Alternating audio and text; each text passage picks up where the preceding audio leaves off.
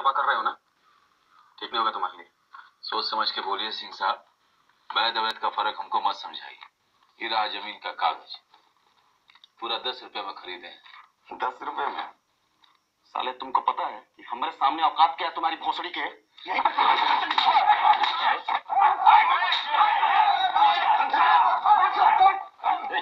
SP साहब अपना कुर्सी पे बैठे रहेंगे तो सबके लिए अच्छा रहेगा।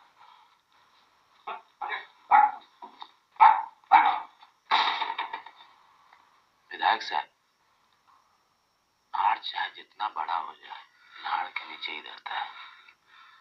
तुमको पता नहीं कौन है साले विधायक मेरे हाथ उड़ाता तुम। आपको नहीं पता हम कौन है। घर वापस जाके जब अपने पिताजी का गांड खुजा रहे होगे ना, पूछना इनसे हम कौन है।